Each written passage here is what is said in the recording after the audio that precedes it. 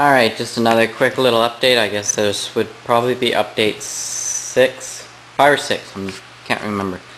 But anyway, um, today so far, it's about, I think, 2 o'clock right now, so I've gotten the ears partially welded on. I still have to make some plates to fit in there, so I can weld that down to there. Um, still have to go across here.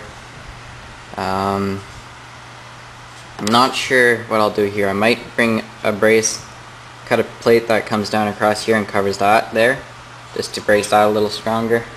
Um, probably won't. Probably just leave it like that, but I did have to cut these off one once. Um, luckily I had had them just tacked on, so um, but I had to um, cut them off cut them off because the bushing I was using you can you can see here that one's about I think three and five eighths can't remember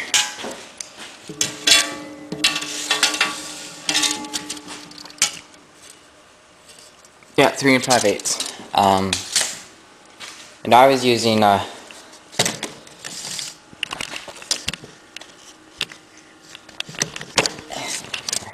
um, to space them apart. I didn't realize I had used a th three inch um, bushing um, for the arm.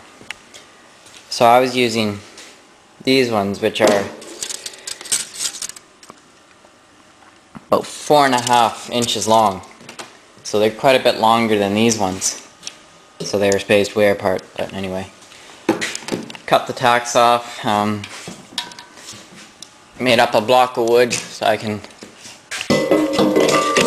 fits in there and then I clamp it down and then I can um, just weld it or tack it, take these out, make sure it fits and everything and weld it all up. But um, got the inside basically done. I'm going to do a couple more beads back and forth over top there. Um, kind of hard to get in there with the welder. There isn't a whole lot of room to move, so. But anyway, um,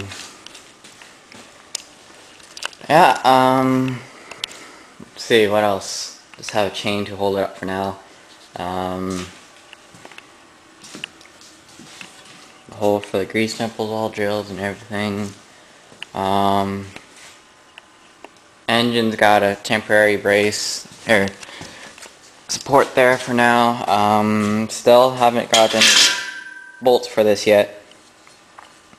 Um, grabbed a couple bolts that I thought were long enough, but I was looking at, I made a list, but I was looking at the different bolts and I got, I think, 10 4 inch bolts instead of a couple 5 5 inch ones but anyway. Grab a couple, couple more tonight I guess um, yeah so chairs just up on blocks for now. Tank's gonna be mounted in there down there. I think that'll be okay for the pump to bring oil up um, I'm not sure but um, yeah. Hoping for today I'll probably get angle iron for here. Cut and tacked on um, and I'll throw the bucket on quickly um, I'll stop the camera because I don't know. I haven't put it on since I welded so it might be take a little while. Um, actually maybe what I'll do is um, won't be able to see the bucket, but anyway, I'll just make one entire video. Give me a sec while I put it on.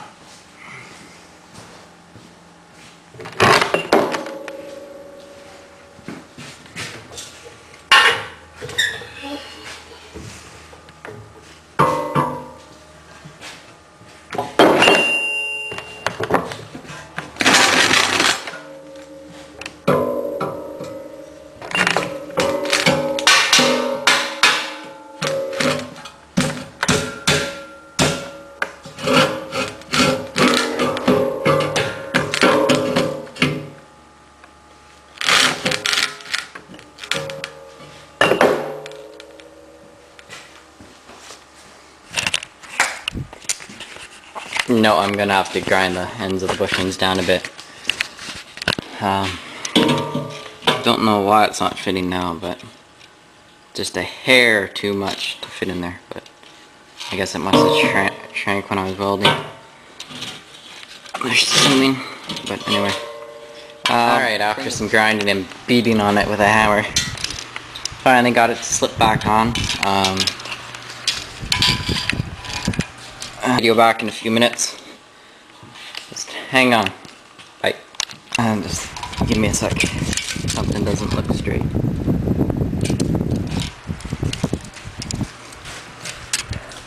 Oh, no, we're okay. Never mind. Um, anyway, uh, so, uh, it fits. I had to take, I didn't track much. I left some room there just for the bushing to wear. Um, I'll keep it good and greased. Uh, like I've said in my other videos, I'm going to cut chunks of this about that big and slip it over there just so it has a little more room, width, surface area for it to wear and it won't just pull through here. Um, the linkage here, it's a wood template, something like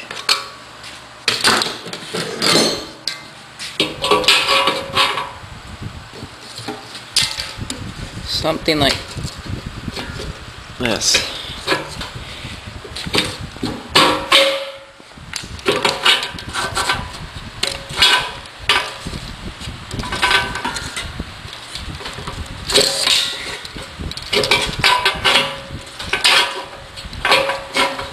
There.